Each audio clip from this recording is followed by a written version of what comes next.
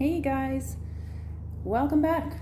Um, I've been gone for some time due to life and family and such, but I'm back now. I have this table that I am going to be refinishing and I got a new camera and I don't know how to work it.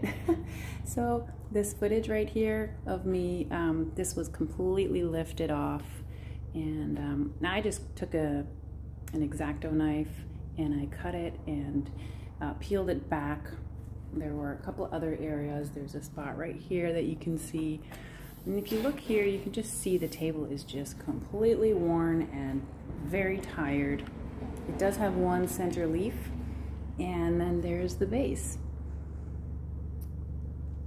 So I'm super excited to be um, partnering with Retique It. They graciously sent me a whole bunch of goodies and this is what I'm going to be using to finish my uh, table. I've got the um, wooden primer in the light. I've got two of those, so I think I'll, I'll have quite a bit of leftover stuff. I've got the triple teak. This is the, um, it's like it's a top coat satin. I have the Barnwood um, gel stain, I believe this is. Then I have the whitewash and these are big jars. This is a 16 ounce jars. And then obviously these are smaller. I also have um, the pecan um, gel stain. And then they sent me some graining tools and a brush. For the finish, uh, for the fixing, I will be using the Bondo uh, now it is a body filler uh, for cars, but I really like it. There's a wooden one that you can get, and I just got mine at Walmart actually.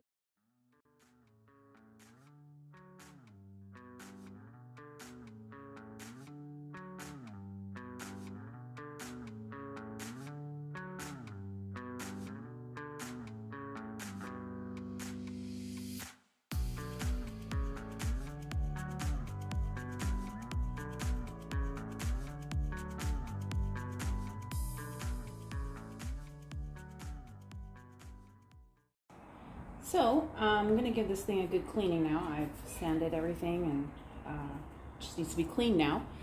On the instruction sheet and on the website, it says right here, never use TSP uh, products.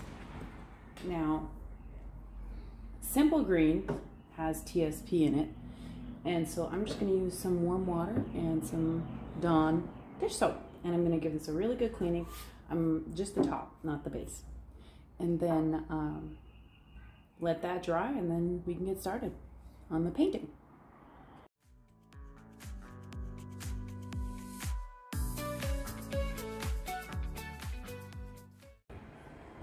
So I'm going to start priming my table with the wooden primer. Again, this is the light.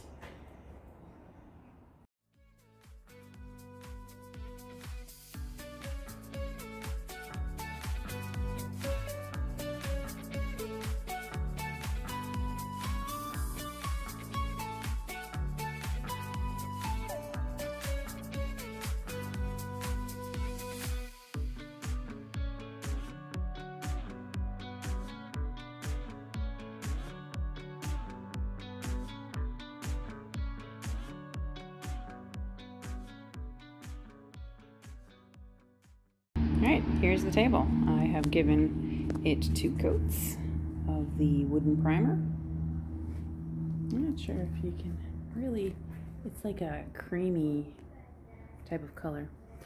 And I also did the rim right here. And then obviously I did not do the base because I'm gonna be doing something else with that. But um, it's time to grain it. I'm excited. It actually feels like um, a piece of wood. It's so cool. Like not like chalky, but like an actual piece of wood. Okay, I have my um, barnwood wooden stain. I've got my graining tools, a brush and paper towel to dab off the graining tools. So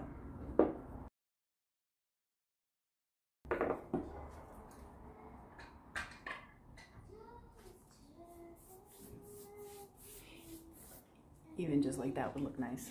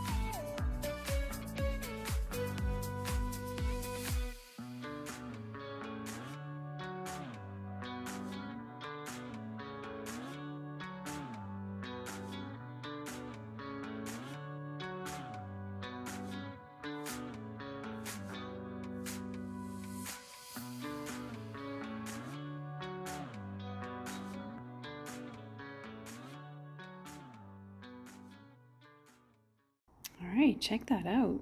Man, that is really cool.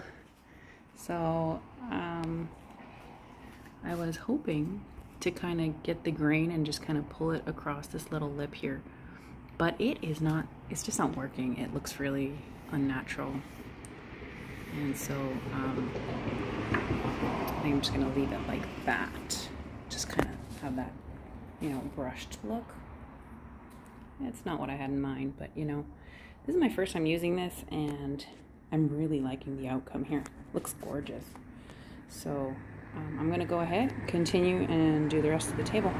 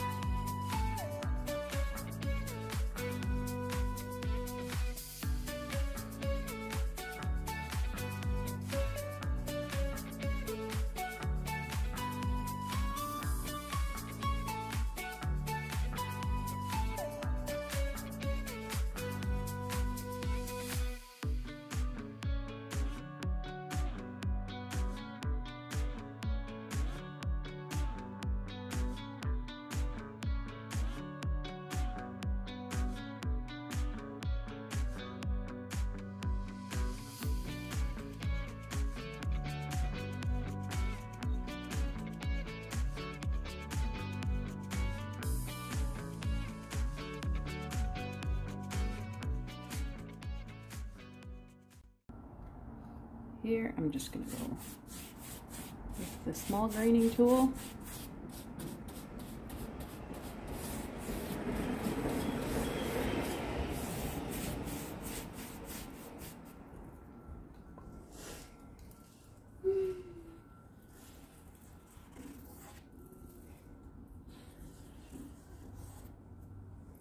Like so. And I'm gonna go around do the whole thing. You can absolutely leave it like this, but, um, and this is a really nice rustic look. It's really nice. Um, but I'm going for more of a weathered look, so I'm gonna go back in with my wooden stain in barnwood, and I'm gonna go over it and give it a light coating everywhere. You can see the sides right there. Right there. I think it turned out so cool. I'm so excited. This is really fun. You guys really, you gotta try this. Just lightly go over it. And again, it feels, it's got this rough sort of texture. It's, feels like the two by four, sort of. Very cool. It does have wood in it, right? So, ooh, look at that.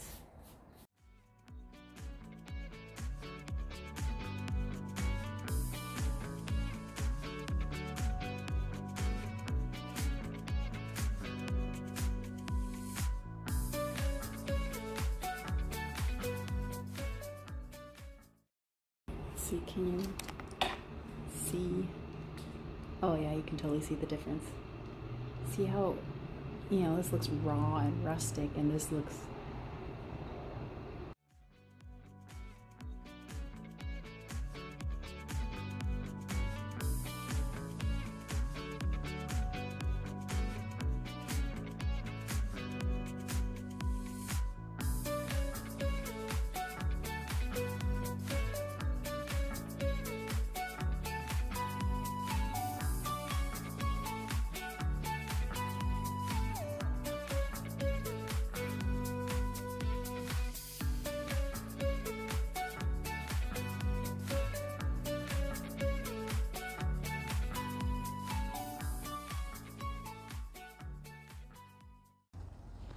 All right, so here's the table. And oh my goodness, I love it. It is so nice. But, not done yet. Got another step for the top here, uh, aside from the top coat. The final layer before the top coat, I'm gonna put a whitewash on it, and that's gonna give it that, I think it was French oak look that I'm going for. So Instructions say to let it sit for three to five minutes. So I'm gonna brush on this whole section and then I'm gonna come in, well, I'll do a little bit first and see what I like, so.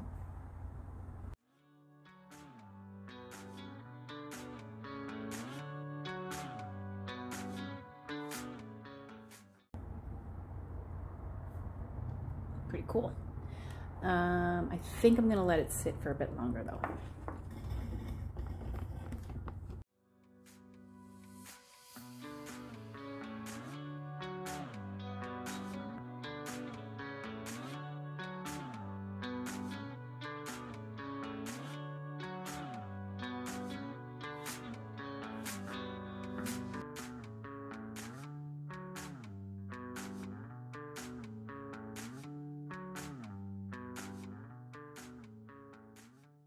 So there is the whitewashed and the uh, not whitewashed. and I am in love with it. It I'm just I love this stuff so much. I'm so giddy. It is fun and I just I want to keep going. I want to do all the things now. So anyhow, love the results. I'm going to continue and I'm going to do the rest of it and then uh, we will continue. I also want to say here, I um, ended up doing half of the leaf and then the other half, and I would definitely not recommend that. Do it in plank size. That's what they say to do, and I don't know why I didn't. Um, but in the end, you can kind of tell that there's a little bit of an overlap, and it's okay. I mean, I'll live with it. It's just, you know, try not to do that.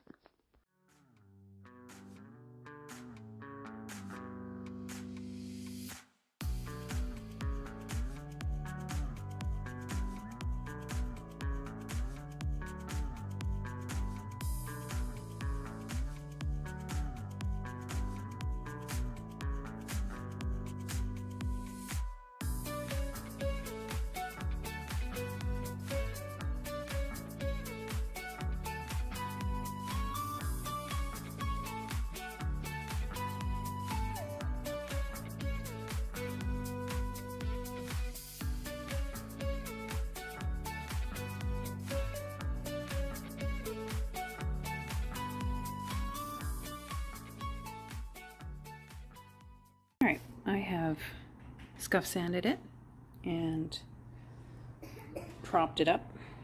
I'm gonna go ahead and paint it. I'm gonna be using some primer and my favorite, in the color Varnished Ivory. And uh, think it's going to look really nice with the top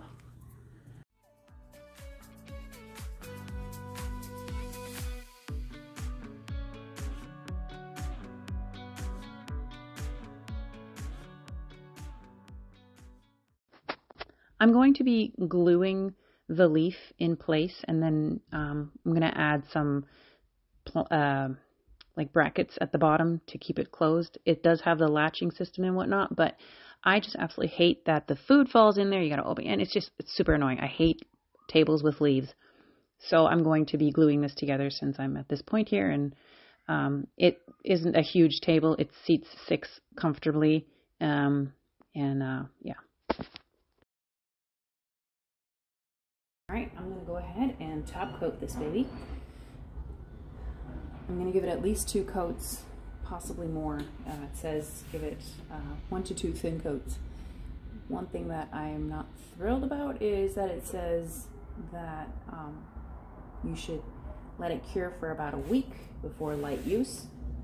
So obviously it's not going to get used in a while here now. And it says it takes a month to fully cure. But I mean, I could technically just use a different top coat if I wanted to, but I have this and I want to try it. So I'm going to use it.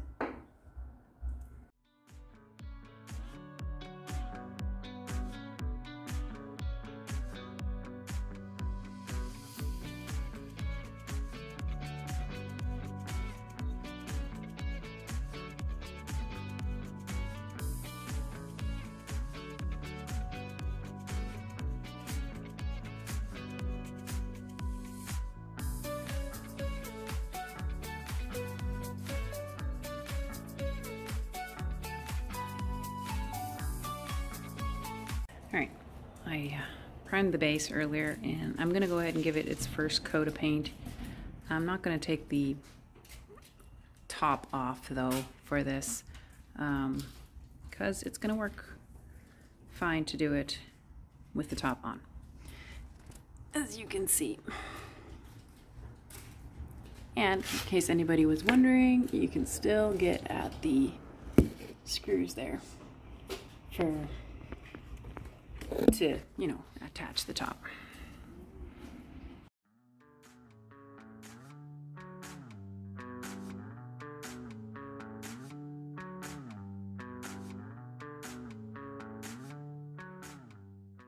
All right, so I've given the, the top four coats and there's not a whole lot left of the um, top coat, triple teak and I feel like it would be enough, but because there's not a whole lot left, I think I'll get one more coat, like a thin one. Something to keep in mind if you're to try this, if you look, uh, if I hold the camera just right, you can see the texture. So it's not a smooth surface, like it feels like wood. So keep that in mind if y'all are to give this a go. But I love it. So before we do the final reveal, I would love your input. Loves your input. Yes, that's what I said. I have two styles of chairs here. I have four of the one and two of the other.